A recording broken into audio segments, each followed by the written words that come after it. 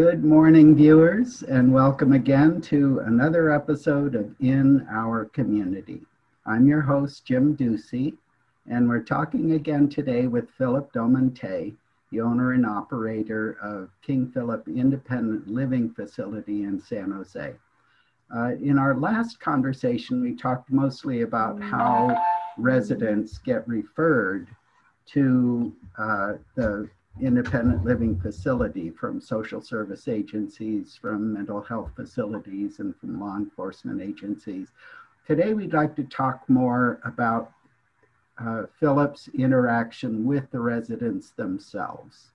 So that's going to be the main topic of our conversation. I did want to clear up a couple of things from our last conversations. We had mentioned NAMI, N-A-M-I, as a referral source for residents coming to the facility. And I'd like you to explain a little bit more what NAMI is and how they end up as a referral source for you. I'm sorry. Good morning, Phillip. It's good to see you. Good morning. Yes, good morning. And I'm very happy uh, we're doing this again. I'm, I'm, I'm I, have been told, Mark, we're very lucky because you are having this another um, conversation with us to share what we do here at King Philip Independent Living. And I would like the, our viewers to know how uh, good it is. And we're fortunate to, to take care of this individual. So thank you again for having me. Pleasure. yeah, so uh, a little bit about NAMI. Yeah, NAMI. Uh, what is NAMI stand for? N-A-M-I, National um, Alliance for Mental Illness. And it's a nonprofit organization and it's a whole group in the whole United States. And they have different offices in different states, different county or even city So who are suffering mental illness. So they are the one that three main things that they like they are doing for. One is to intervene early. Uh, secondly, we have the uh, they help to improve the care of the individuals and also uh, they divert the individuals from justice. What does that mean from divert from individual for justice? They cannot be just, um, if they do something uh, differently um, in terms of their behavior because it's out of their control, you know, there's a something different assessment for them. So they're not gonna be, uh, be handcuffed. So they have to get treatment first instead of uh, taking them to a custody. So those are the one that they're three mainly they're looking at. So it's okay. totally different with this individual. Okay, that's good. Thank you. Uh, the, uh, in our first conversation a couple of months ago, you had mentioned that you don't need a license to operate an independent living facility in San Jose, but you do have up to 16 people, residents, who can be living in your house uh, mm-hmm. and they're unrelated people. Does this operate as a uh, like an apartment, or how is it zoned? How is it that you work with the city? So um, the only um, one of the permits that you get, there are two kinds of fictitious from the from the uh, county and for the city is the business tax certificate to operate the business. So in the beginning, I was asking them um, hey guys, I'm starting to have this business. What kind of regulations do you have? What are your requirements? And when I when I share to them, what what are your services for? Who are your clients? And then they say, oh, you just only need this uh, business tax certificate because you're non-licensed. Um, all you have to do is just like consider the zoning in your area. So different zip codes, different location, there are certain numbers of people only who can live in in that house. So but if you are if you're beyond that number come back to us and apply for uh, that what they call reasonable accommodation. And what they require is uh, a plan a sketch plan of your house um, the size of the room bring it to the building they call the building code uh, enforcement in the city and they will review your application. They will come here and and look at your room the size of the house and they will be the one to determine like philip you can only put three people in this room. This master bedroom you can only get through a four or three so they are the one to make that determination. Okay same well, thing is like so now um, do do they do, do, how about the referral agencies like social services agencies do they come out and look at the facility? Or do they once once they've seen it and they know that you're complying with the city regulations then everything is fine? That that's true. So initial process is that they call us and oh, right. Yeah they call us uh, and some of them they already visited our website and they already know what we're doing have a little idea what we're doing they call us and schedule an appointment because second step of the process is we would like to see the client sure. ourselves to interview and then we would like our client also to experience the house to see if this is the right place for you so get to know that with them uh, with the clients and the staff and then from there the the agency will have a lot some questions about how we've been operating what services you have what can't you uh, accept to this uh, kind of housing and then from there, once we all met in, in the in the middle where the client is fit for the facility or for the house, and then we'll proceed with the next step, which is a move-in process. Okay. So they will come and visit it. Okay. All right. Well, that's good. So uh, now the last time we had talked about the environment. So you uh, provide for your residents, you know, a place to live, and you provide mm-hmm. meals. Uh, and also you have daily activities and you have celebrations like for birthdays and holidays and things. So um, I'd like to talk in today's episode about the one-on-one interactions with the residents. So now everyone who is a resident there has some mental or behavioral challenge they're dealing with. Uh, how is it that you interact with them? Uh, you know, you're going to run into a range of behavioral um, challenges, things that people act out and such. How is it that you work with people? You know, Jim, I'm, uh, that is very good question, and it brings a lot of factors and elements in terms of the daily operations itself. It's not only about the meals and not only about the daily activities or anything else. It's the major thing in there is that you're asking for is the behavioral challenges that we deal every day. And it's something like um, even just a little thing, you'll be surprised. Like, oh, just a little thing, but it make a big deal, right? So uh, there are a lot of them, such as argument with each other. And when you come up with the with um, the solution and to try to find out what's the cause of it. And sometimes, you know, it's all about the, the, the channel on the TV mm-hmm. or or somebody's like sitting on the other side of the couch, which is the other person like to sit on the other mm-hmm. couch, mm-hmm. you know? So, so, and another thing is um, the roommates issue because they share a room. Some, some of them, they read paper or book before they go to bed with the lights on and the other roommate does doesn't support that you know or someone's watching tv at 12 o'clock but the other guy they should be always we should be all sleeping at 10 o'clock that kind of thing. So a lot of factors that you see there and during mealtime also. So it is no matter what that you encounter with every day you we have to be prepared. We have to be uh, uh, dig, know how to dig the uh, problems. Where is it coming from? How do you uh, solve it? So we have to have a set of uh, problem-solving strategies with different uh, um, behaviors that you deal with. And the most important there is that person itself to make sure that at the end of that conversation or solution, we have to satisfy them. And hopefully not going to happen again. So, so really what you're doing is conflict resolution a lot of times. So now why something becomes a big issue for someone may just have to do with their coping mechanisms. But I mm-hmm. mean, put any 16 people together in a room and you're going to have personality conflicts. So if people are living with each other day after day after day, of course you're going to have mm-hmm. those kinds of things.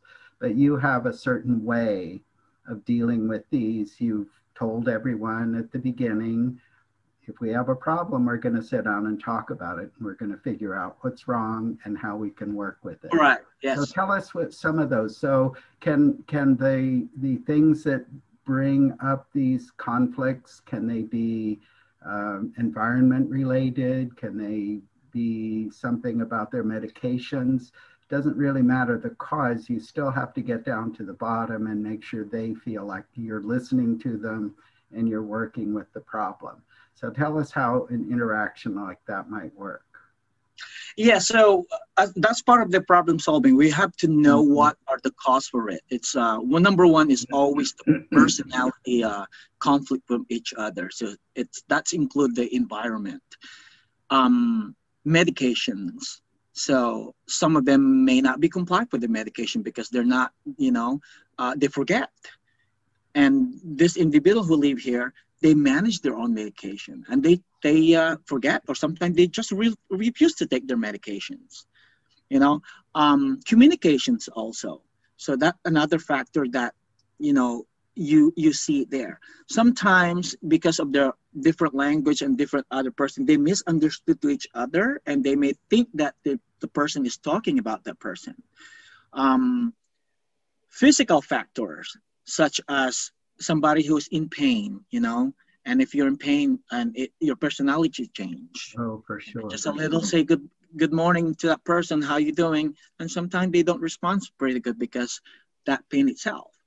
Um, so that's those are few factors that contribute to those. So you are um, be re- you are ready to know that first, and not only that because you understand where's it coming from, you have to understand that part and also you have to help the other resident and staff to understand that part also.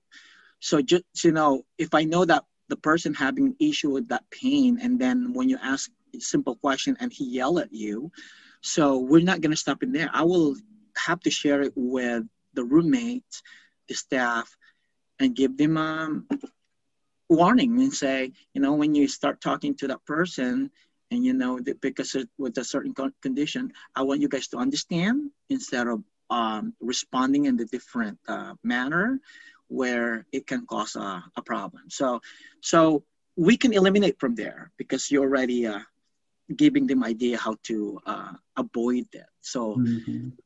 so those are the initial factors that we have to get in first to avoid it we try to avoid it before that happens. If something happens, then what's another uh, problem solving strategy that we can offer for them? Okay. So now you that that brings up an important point is that as you get to know their personalities and you know what their normal day-to-day even keel kind of mood is, you can recognize when things are starting to go off track and then you you learn how to deal with different people in different ways. So what kinds of things do you look at to recognize things? They're not eating well they're not sleeping well. Mm-hmm. as you say they can be real snappy or have a mood swing or something. So you recognize these things and try to to bring them back before things go wrong yeah, thanks, Jim, for bringing that up too, for uh, getting to that deeper part of that portion. Um, if you are well trained and know your your strategy for this one, you should be able to assess also the person mm-hmm. without even because they will not gonna come to you. Your ears and your eyes and your brain for evaluation will tell you what is going on with a person. And and and it's not just because you observe or they come to you. Um, the most important role that you have as an owner or operator is to be spending time with them. Because the most important time that you spend with them you will learn about their personality. You will learn about the baseline. So you can base from there and if there's something going on or change with that person, you can detect that right away. So this person is very calm uh, every time I go there and have a conversation with that person. But after a few days, there's something changed. He's not talking or um, yelling. So for you, oh, this is not your baseline. So there's something going on. Now, next step, let's figure out what's going on with that person. So uh, I can give you one example. If um, because these individuals are are going out, they're, independent. They have access uh, going anywhere to, to, to, the public. And what's what's happening there? They can have potentially be uh, dealing with individuals who are um, using drugs, alcohol, you know, or drug any drug uh, any, any kind of crimes, right? And they come home, they may bring a piece of those things, you know. So um, I can tell, you know, by looking at their eyes, you know, their eyes dilated. It's because they are intoxicated. Mm-hmm. Um, you can tell already if they are um, intoxicated with alcohol, right? So that drugs itself, you can you can tell, and the way the way they they move, the way they talk is totally different. And it's so time what do you do about these kind of violations of the house rules? I mean, do you give them warnings or do you talk with a social worker, their caseworker? How do you deal with that kind of a situation where somebody is just not complying with the rules?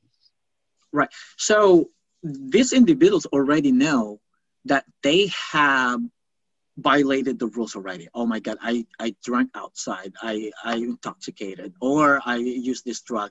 They know when they come back, I'm gonna deal with Phil because he knows what's gonna happen. Mm-hmm. Right. So first step we're gonna do, we have a little chat with that person in a calm way because you know those are individual intoxicated already. If you don't manage it properly, too, it can lead to, uh, you know, um, it could be abusive manner, right? They get mad so we have to get that um, in a very professional and calm manner. Next step, we have to let the social worker know this is what I observe. Um, and then they will come in as well. They can bring uh, another social worker with them or their supervisor. So they're gonna have that conversation with the person, and they will let me know. Yeah, Phillip, it's confirmed. This is uh, intoxicated, or this person is using this, right? So so we work together, and then we'll we'll um, the plan. It could be can we remove you from the house right now because of your behavior? It depends on how this person reacts. How serious it is and how frequent it becomes. Right, and how frequent it becomes. Now you we don't feel that you're safe in the house. Um, I don't I don't I don't I don't think that you are fit at this moment. So they may have to take that person somewhere else for for detoxification. So from that process, and then we will have another meeting with the client and review what happened in the past and let's go back to the house rule. Hey this is what happened. Remember that five few days ago? Now it's time to, to talk about it again because you are already clean. So we reviewed it again. Now it's our decision. Can i give you a chance or can we just proceed? Because this is the second time, the third time, we're not going to do it again. Unless the, the client would say, Phillip, this is my final time. I don't want to leave here. I promise I'm not going to leave again. We always give the chance for that individual. Of course. Of course. All right. So uh, your your degree, your college degree is in restaurant and hotel management, and it sounds like you've become a, a psychologist over the years of, of working. Amateur psychologist. What's that? We, we all like amateur psychologists, right? well, that's true, but this is a very big part of your job. What other staff do you have there that, that works at the house? So we have, you know, because we're very limited in terms of what kind of service we provide. Sure. So it's main one is the the uh, the meals only, you know. So we have cooks, um, two of them, and um, mostly I help them as well if I'm if I'm in the house, and you know um, we do a little activities for everybody. So it's it's just it's just a actual total of three of us. Three people. So, so you yeah. you are the main operator, and you're the one who really deals with all of the personal issues because that's your responsibility. That's and that's true. Other two people clean, cook, uh, and work on doing the parties and activities that you have around the house. Okay. That's that's true. Okay, so now uh, personally, this seems like a lot how do you feel like you have the the strength and motivation to work in this kind of an environment for as your as your primary primary work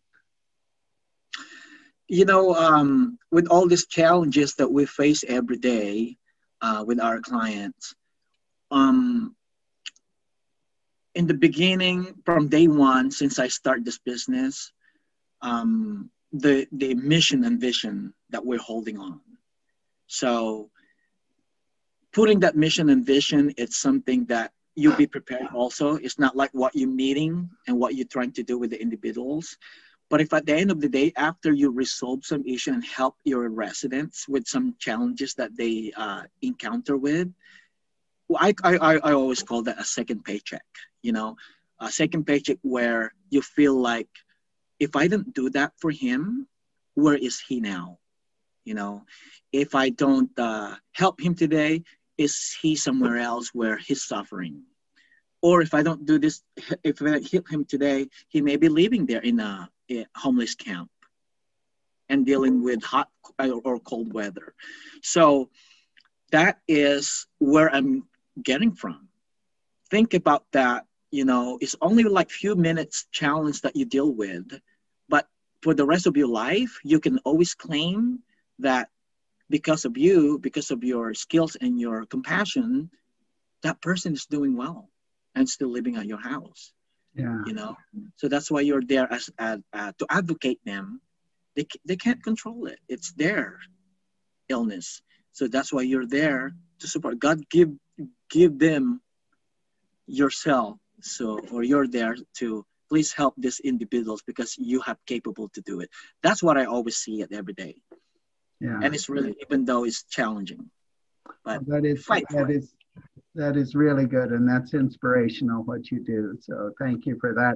I do yeah. want to uh, we just have a couple minutes left. I'd like you to share a few words about the service that you provide. So when you think of all of the different ways that people can live in the world, you know, from being completely homeless to your average single family home or you know how do you see your residents where they fit in that social structure and um, something to the viewers about how you are helping this segment this part of society that really are, are kind of sheltered from the rest of us in our normal, normal lives.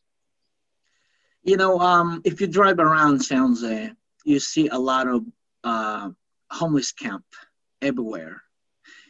And they and seeing them, and you know it's too cold outside or it's raining, you will think about why these people living here and I have my own home, I have my own heater, and I can drink or use the bathroom anytime I want. You know, um, it hurts you, but at the same time, um, what else I can do to to help these individuals, right? So, but if you're running a place like this, it's not about business. It's not about what you're making money for.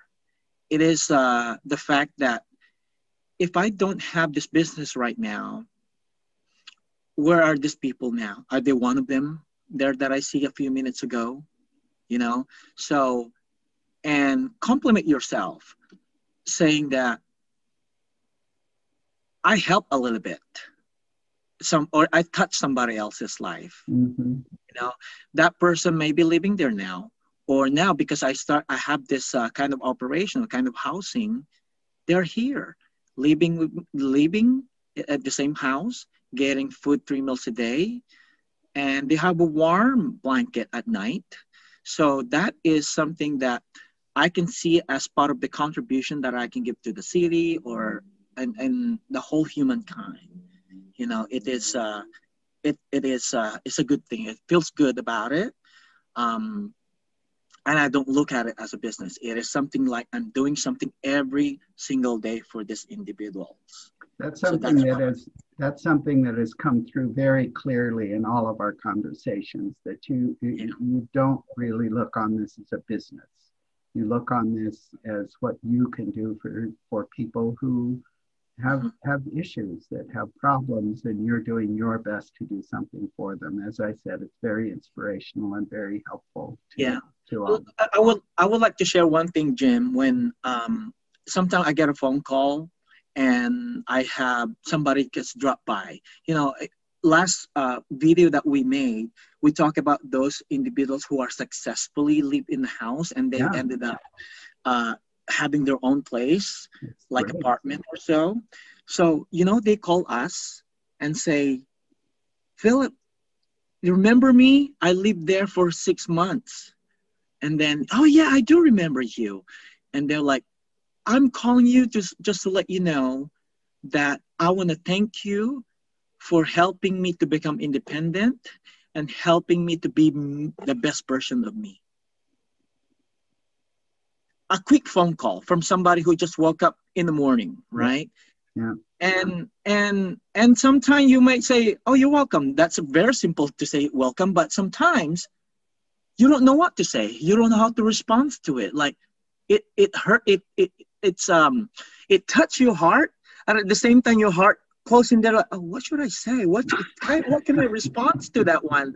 It's because you you recognize something that what you did many years ago and it will coming back to you. And this person like how do you know my number still after all these years, right? And then what what you what do you came up with like one day you call me and say that there's something good happening to that person and because of that something happened good with that person put yourself together hey we did this together it's not only you and not only me we did it together and i'm right. proud of you that you're That's there right. so Well, that's that's- why like and that is like that really has got to feel good that really is is the thing that it is makes it all worthwhile so it is. I'm glad for what you've done, and thank you so much for talking to us about all the all the challenges and the benefits and all of the all of the good things that it brings to you in your life. So thanks very much, Phillip, and good luck with uh, running King Philip Independent Living in the future. Appreciate your taking the time. thank you jim thanks for having me again Well, thank you, viewers. And again, this has been an episode of In Our Community, and I'm your host, Jim Ducey. Join us again for another episode, and we'll see you again soon. Thanks a lot. Bye.